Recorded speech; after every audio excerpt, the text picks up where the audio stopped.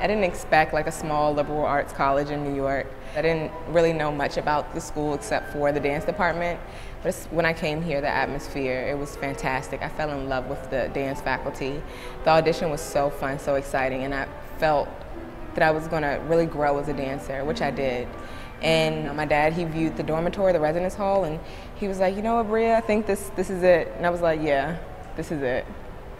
like rehearsal in the studio, it's like, you know, the lab for scientists. You know, they're just trying all these different things. Like, this is what it is, this is what it is, let's try that. No, that didn't work. Throw it out. And that's what the rehearsal process was. Every rehearsal would be something different. When I'm dancing, again, I approach it like an athlete.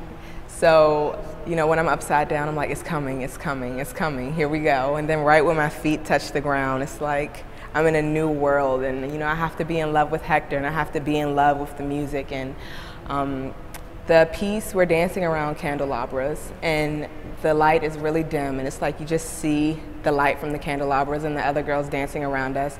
And it's just a romantic and a beautiful atmosphere. And you know, when I come from a lift and I just, and when my feet touch the ground, you know, I just think about everything that Pedro told me, everything about the process. Just, you know, be soft and to dance and to, you know, love what I do. And at that moment, it's just about dance, it's about the music, it's about, you know, the romance, the passion, and that's what I'm thinking. He says red wine. It's about red wine, and that's what I'm thinking. And so it's like, it's, it's always you know, different moving it from the studio to the stage.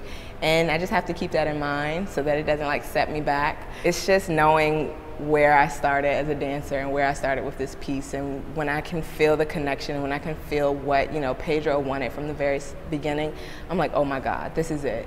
I understand what he meant. I understand what he wanted. And it's so rewarding. And you just have to keep in mind that college is all about learning and opening up and you know, kind of peeling the layers to yourself.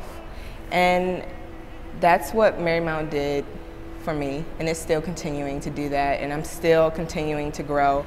And just to see how I came in at the age of 18, how I am now as a 20 year old, how I'm going to be as a 21 year old, it's amazing. And that's what's really rewarding for me because I always thought, hmm, I started when I was 13, I'm behind all the other girls, but it's Marymount has really formed me and opened up my eyes to so many opportunities. And I was so narrow-minded when I came in, and I just I don't even know. I just I'm, when I graduate, I plan to try everything, everything, not just ballet, but everything. And that's that's the point of this school, and that's the point of an amazing institution, an amazing dance program.